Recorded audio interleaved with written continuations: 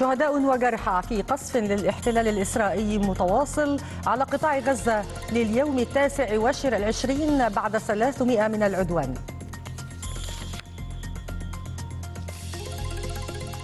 الجيش الإسرائيلي ينسحب من طول كرم ومخيمها بعد عملية عسكرية استمرت 48 ساعة خلفت أربعة شهداء ويواصل حصار جنين.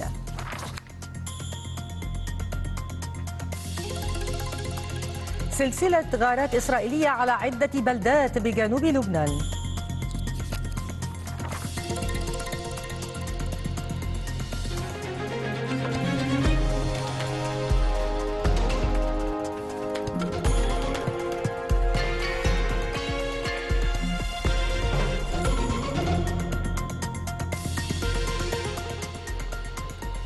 العاشرة في القاهرة موعد نشرة إخبارية جديدة تأتيكم من شاشة قناة النيل للأخبار. أهلا بكم. البداية بعد الفاصل.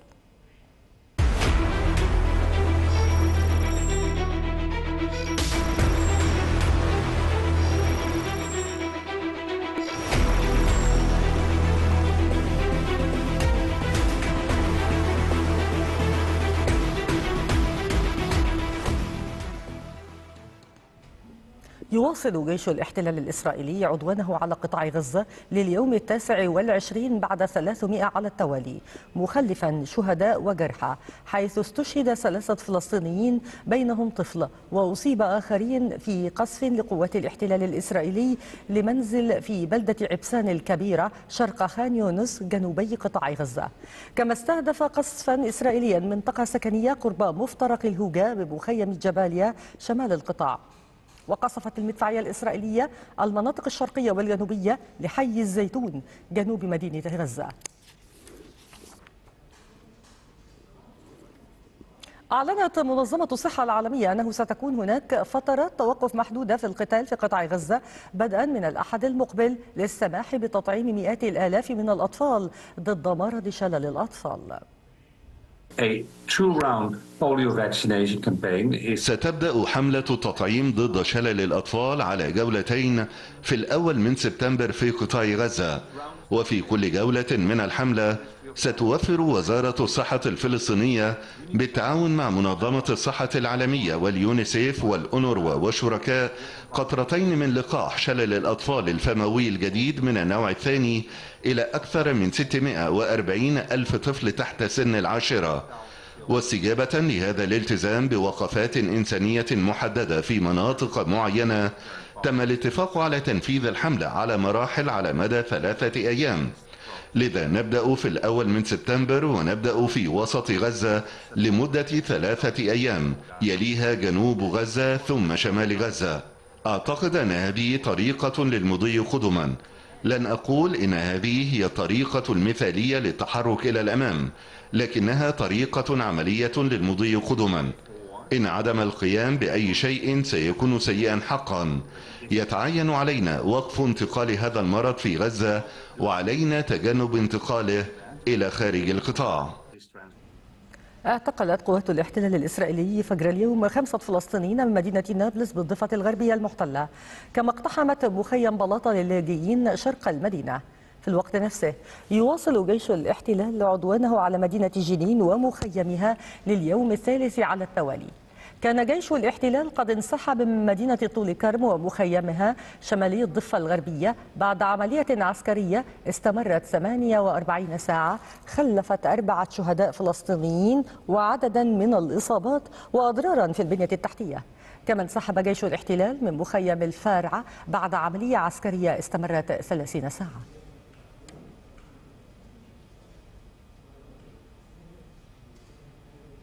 عقد مجلس الأمن الدولي اجتماعا طارئا أمس لبحث الأزمة المستمرة في قطاع غزة والضفة الغربية المحتلة بناء على طلب المملكة المتحدة. يأتي الاجتماع في ظل تصاعد العنف من قبل المستوطنين في الضفة الغربية إلى جانب الهجوم على فريق برنامج الغذاء العالمي في غزة مما دفع البرنامج إلى تعليق عملياته هناك حتى إشعار آخر. في اجتماع طارئ في نيويورك بحث مجلس الأمن التابع للأمم المتحدة الأزمة المستمرة في قطاع غزة والضفة الغربية المحتلة بناء على طلب بريطاني. يأتي الاجتماع في ظل تصاعد العنف من قبل المستوطنين في الضفة الغربية المحتلة إلى جانب الهجوم على فريق برنامج الغذاء العالمي في غزة. ما دفع البرنامج إلى تعليق عملياته هناك حتى إشعار آخر. وذكرت القائمة بأعمال قسم الشؤون الإنسانية في الأمم المتحدة أن العاملين في المجال الإنساني يعملون بلا كلل لوقف انتشار مرض شلل الأطفال في غزة. وتستعد الأمم المتحدة لتطعيم ما يقدر بنحو 640 ألف طفل في القطاع.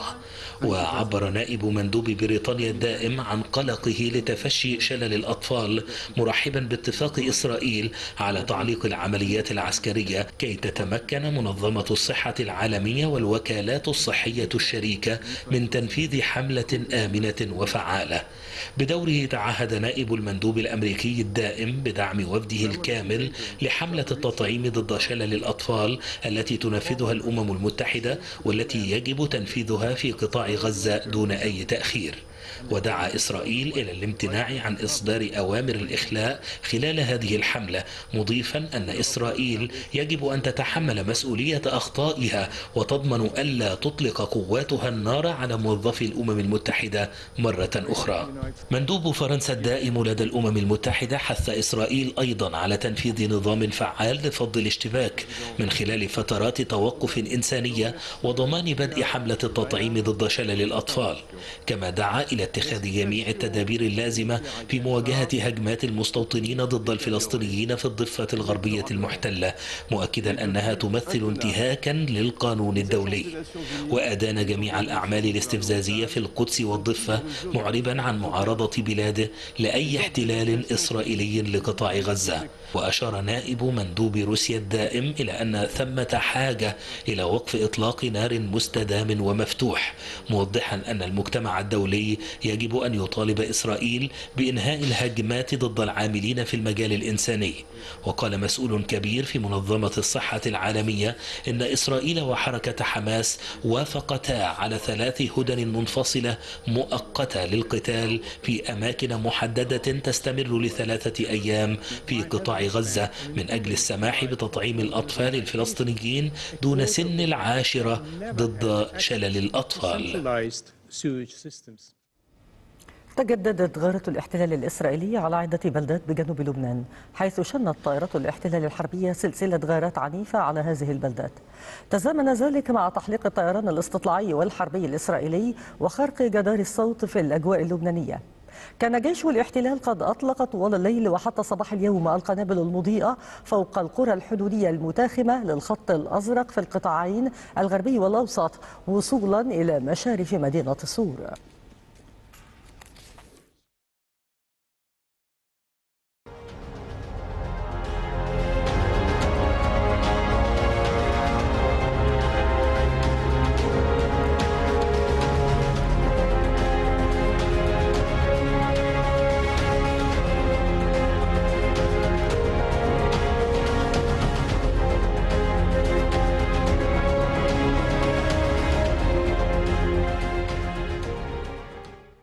وإلى ملف الانتخابات الأمريكية حيث أكدت مرشحة الحزب الديمقراطي في الانتخابات الأمريكية كامالا هاريس أن التزامها بحق إسرائيل ودعم قدرتها على الدفاع عن نفسها واضح لا لبس فيه ولن يتغير. جاء ذلك في أول حوار تلفزيوني لها منذ نيل ترشيح الحزب الديمقراطي لخوض الانتخابات وشملت أيضا نائبها تيم وولز قالت هاريس إن كثيرا من الفلسطينيين الأبرياء قتلوا ويجب التوصل إلى اتفاق لوقف إطلاق النار في غزة. وأضافت أنها ملتزمة بما يجب على الولايات المتحدة القيام به للمضي قدما نحو حل الدولتين.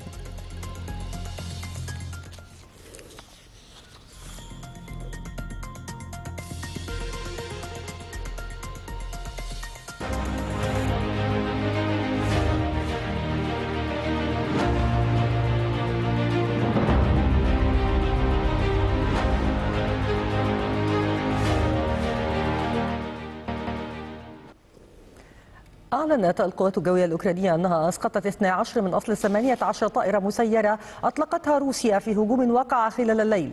كانت أوكرانيا أعلنت عن تحطم مقاتلة أمريكية الصنع من طراز F-16 حصلت عليها مؤخرا أثناء التصدي لضربة جوية روسية. مما أسفر عن مقتل طيارها. وقالت هيئة الأركان العامة الأوكرانية أن الطائرات F-16 تمكنت من إسقاط أربعة صواريخ كروز روسية خلال هذا الهجوم لكن لدى الاقتراب من الهدف التالي تم فقد الاتصال مع إحدى الطائرات. واتضح لاحقا أن الطائرة تحطمت مما أسفر عن مقتل الطيار دون أن تحدد متى وقع هذا الحادث أو هوية الطيار.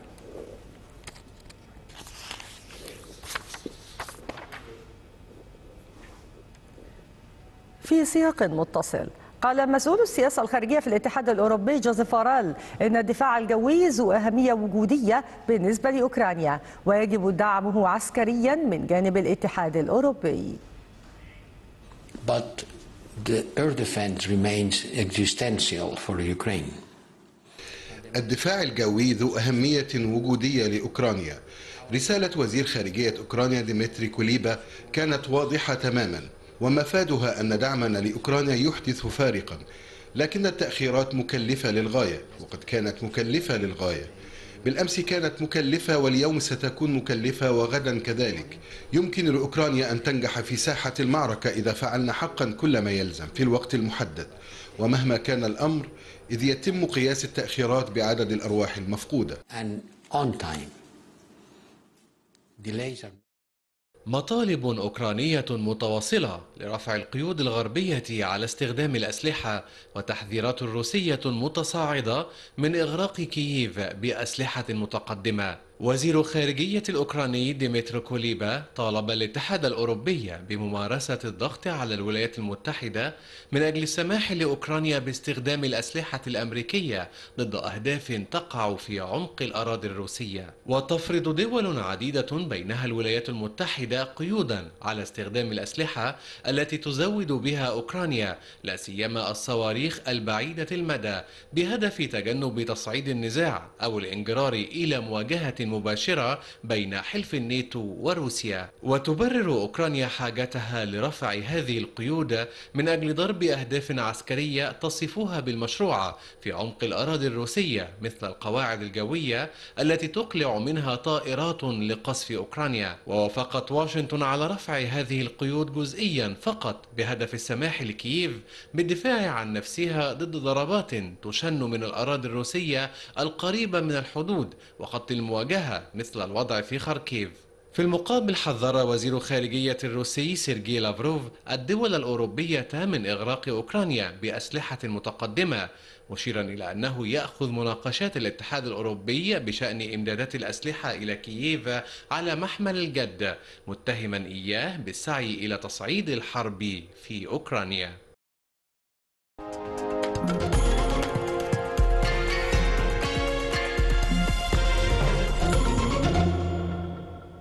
نفى الرئيس الفرنسي إيمانويل ماكرون اي علاقه له باعتقال رجل الأعمال الروسي الفرنسي بافل دوراف مؤسس منصة تيليجرام.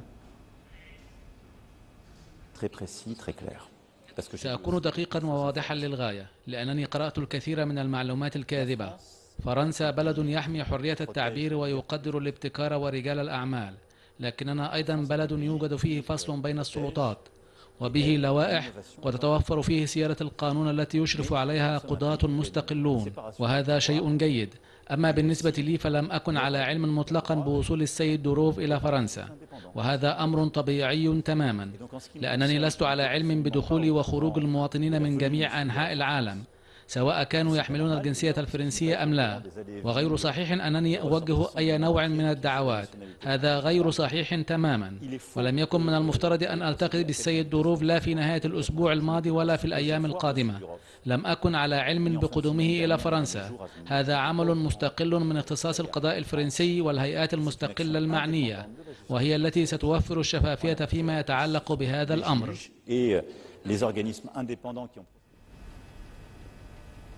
هذا وأفرجت محكمة فرنسية عن مؤسس منصة تيليجرام بافل دوراف بكفالة بعدما أمضى أربعة أيام معتقلا في فرنسا التي فرضت عليه حظر سفر وبانتظار محاكمته المحتملة بتهم ترتبط بالمحتوى المخالف للقانون في تطبيقه للرسائل النصية.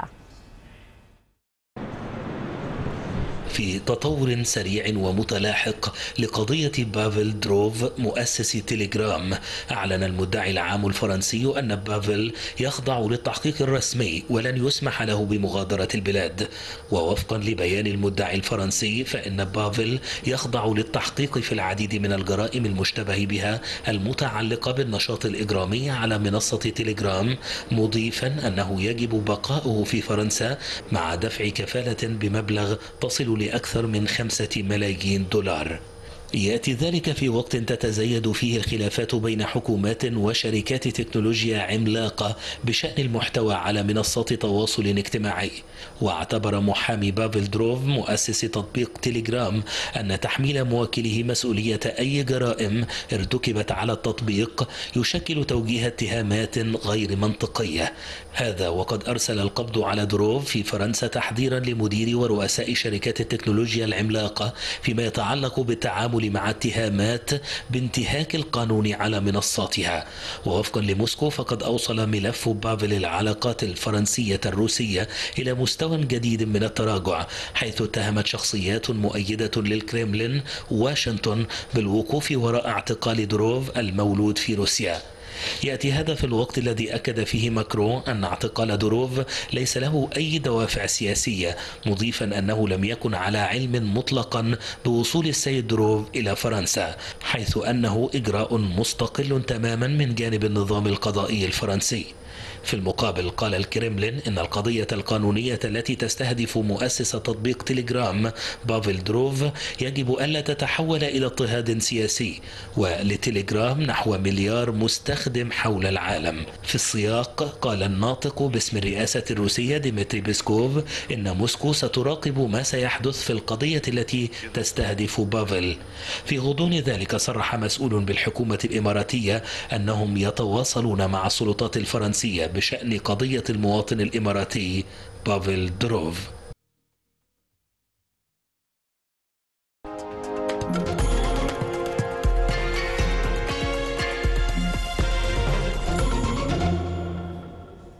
أعلنت الأمم المتحدة أن السيول الكارثية الناجمة عن الأمطار وانهيار ثلاثة سدود بمديرية ملحان بمحافظة البحويت اليمنية يوم الثلاثاء الماضي تسببت في وفاة وفقد أكثر من 41 شخصاً. مع تواصل عمليات البحث للعثور على مفقودين أعلن صندوق الأمم المتحدة للسكان أن السيول التي اجتاحت محافظة المحويت اليمنية شمالي اليمن أسفرت عن مصرع وفقدان العشرات وتضرر نحو ألف أسرة. الوكالة الأممية ذكرت أن سيولا كارثية اجتاحت مديرية ملحان بمحافظة المحويت غربي العاصمة صنعاء عقب أمطار وانفجار ثلاثة سدود الثلاثاء الماضي. وقالت إن التقييمات المستمرة تشير إلى تضرر 1020 عائلة ومقتل 24 شخصا وفقدان 17 وتهدم 40 منزلا كليا و230 منزلا جزئيا مشيرة إلى أن الطرقات مقطوعة وأن فرق الاستجابة الطارئة تبذل جهودا كبيرة من أجل الوصول والمساعدة. كانت حصيلة سابقة أعلنتها وسائل إعلام يمنية. أعلنت العثور على جثامين 16 شخصا مع تواصل عمليات البحث عن أكثر من 20 مفقودا في ملحان. إثر فيضانات عارمة تسببت في انهيارات أرضية وتدمير منازل ومحال تجارية بالإضافة إلى قطع الطرقات. وأفادت التقارير اليمنية أن تقطع الطرقات نتيجة السيول. أعاق وصول فرق الإنقاذ لساعات عدة فيما طالت الأمطار الغزيرة التي تهطل في غرب البلاد منذ أسبوع محافظة الحديدة أيضا. ومنذ أواخر يوليو الماضي ازداد معدل هطول الأمطار في عدة محافظات مما أدى إلى مصرع نحو 140 شخصا جراء السيول والصواعق الرعدية المصاحبة وتضرر نحو ربع مليون شخص خاصة ممن يعيشون في مخيمات النزوح وفق إحصائيات حكومية وأممية. أعلنت السلطات اليابانية مقتل أربعة أشخاص على الأقل وإصابة أكثر من 100 شخص جراء إعصار شانشان الذي يمر حاليا فوق جنوب غرب البلاد.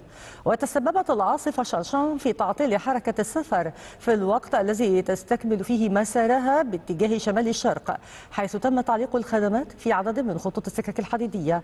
وتوقفت العديد من خدمات النقل وأغلقت مصانع كما تم قطع الكهرباء عن ربع مليون منزل تقريباً.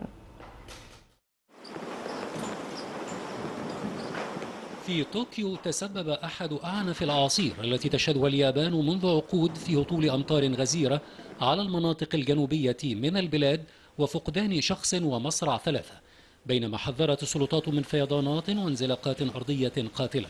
وصل الإعصار شانسان إلى كيوشو الجزيرة الرئيسية جنوب اليابان ترافقه رياح عاتية تصل سرعتها إلى 252 كم في الساعة مما جعله أقوى عاصفة هذا العام. ومن بين الأعنف التي تضرب اليابسة منذ عام 1960 من جهتها حذرت وكالة الأرصاد الجوية اليابانية من أن خطر وقوع كارثة بسبب الأمطار الغزيرة قد يتزايد بسرعة في غرب اليابان. هذا وأعلنت السلطات أعلى مستوى تحذير في بعض الأماكن ونصحت مئات الآلاف من الأشخاص بإخلاء منازلهم لكن من غير الواضح عدد الأشخاص الذين قاموا بذلك. وتتشكل العاصير في المنطقة على مقربة من السواحل. حيث تشتد بشكل أسرع وتستمر لفترات أطول فوق البر نتيجة تغير المناخ وفق ما أظهرت دراسة صدرت الشهر الماضي. وعلى الجانب الآخر علقت مجموعة من الشركات عملها في اليابان وبدورها ألغت الخطوط الجوية اليابانية أكثر من ألف رحلة داخلية وأربع رحلات دولية مما أثر على أكثر من 44 ألف مسافر. كذلك أوقفت شركات السكك الحديدية معظم قطارات شينكانسن السريعة بين هاكاتا في كيوشو وطوكيو لافتة أن الخدمات ستعلق في أماكن أخرى. أخبار هذه النشرة مشاهدينا انتهت. لم يتبقى لنا سوى تذكرة بالعناوين. شهداء وجرحى في قصف للاحتلال الإسرائيلي المتواصل على قطاع غزة لليوم التاسع والعشرين بعد الثلاثمائة من العدوان.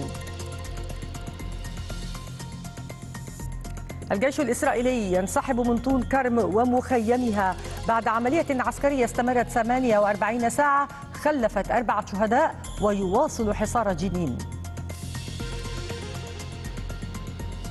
سلسلة غارات إسرائيلية على عدة بلدات بجنوب لبنان.